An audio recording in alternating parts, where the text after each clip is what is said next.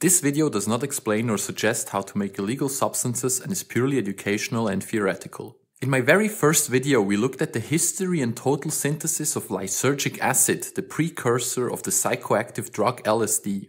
The old school and new school syntheses we discussed were cool, but they are quite lengthy, consisting of more than a dozen individual chemical steps. Well, a team of chemists recently reported a synthesis of lysergic acid in only six laboratory steps. Today we will look at this chemistry in detail and uncover some interesting insights. For example, how do chemists measure how trippy a molecule is? So, these scientists, are they a bunch of Breaking Bad wannabes, or why would they investigate even more ways of synthesizing LSD?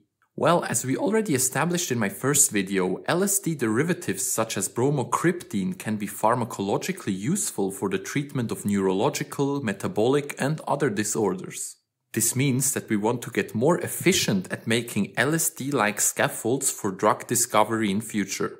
In 2020, there was an interesting structure-activity relationship study that showed for the first time that psychedelic compounds, such as derivatives of DMT, can be engineered to lose hallucinogenic side effects while retaining their useful psychoplastogenic properties. The left-hand side 5-methoxy-DMT gives you one hell of a trip whereas the isomer with the methoxy substituent shifted by just one carbon does not. While this might be disappointing for some of you, it's obviously better if patients are not hallucinating weird shit after taking their pills. If you wondered, trippiness can be estimated by looking at how often mice violently shake their head after administration of psychoactive drugs. This is a well-validated proxy for hallucinations, and was first established already 70 years ago. You can see in this chart that while 5-methoxy-DMT leads to head twitching, actually in a nice concentration dependent manner, the 6-methoxy isomer has no significant hallucinogenic activity. Before we continue, I opened a channel membership option on YouTube and Patreon. Check it out if you're interested. I appreciate any support to improve my 10 cent hourly salary I get in return for spending so much time on these videos. So how does this super short synthesis look like? The key bond disconnection that this synthesis is based on is an intramolecular Heck reaction, which creates the key vinyl bond that is present in LSD. This Heck approach towards LSD is actually not an invention of the 2023 synthesis, as it had been used in previous, more lengthy syntheses already.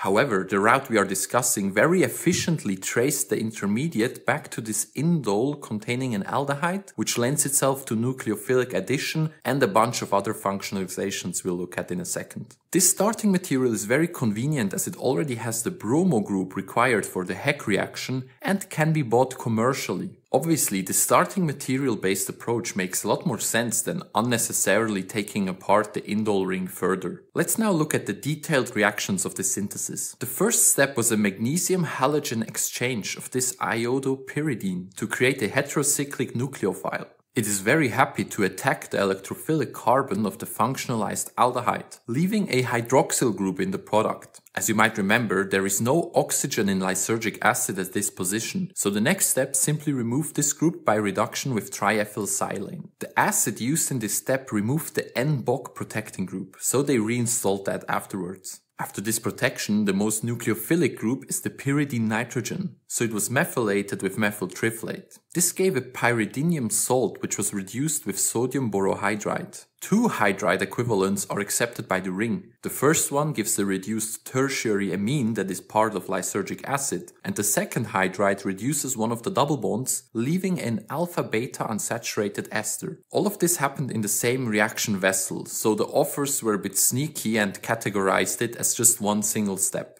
Now you might think, wait a second, to enable the key Heck coupling reaction, the olefin actually needs to be located at the other carbon, which would require an isomerization. They achieved this by using lithium TMP as a very strong base, giving the isomerized anion which can be protonated in a diastereoselective manner. The desired isomer is the one where the ester is on the same side as the existing hydrogen of the six-membered ring. And while the preference of this reprotonation isn't that great, it's formed in slight excess over the undesired one. Conveniently, it can be recycled by subjecting it to the same conditions to convert some of it to the desired product. The Heck reaction proceeded with the standard mechanism some of you might know. Oxidative addition of palladium zero allowed for olefin insertion and creation of the CC bond here in blue.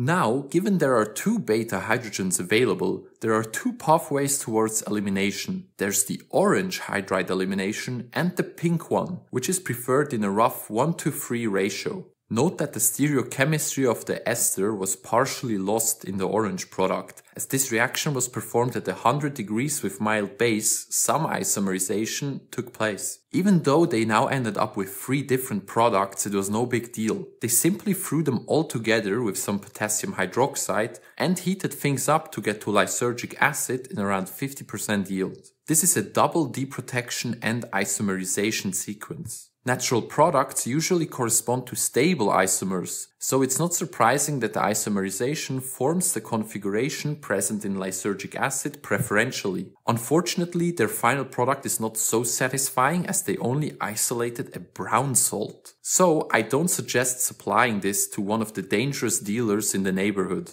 I've seen some procedures getting to nice white crystals of lysergic acid, but these folks didn't care too much about ultra pure product. Lastly, they showed that this synthetic route could be useful to explore and study LSD analogs. Remember the methoxy substituted DMT structures at the start? They started with a chloro substituted indole starting material and replicated all the reactions, including the HEC, to create a C12 chlorolysergic acid derivative. Now you could envision creating different LSD LSD analogs by converting the aryl chloride into other functional groups, such as methoxy groups, which might help scientists find future drugs based on lysergic acid with differentiated therapeutic profiles. That was it for this short and sweet video already. I hope you were all able to take away some nice learnings. If you liked it, please subscribe, leave a comment, activate notifications, and consider becoming a channel member. Thank you and until next time.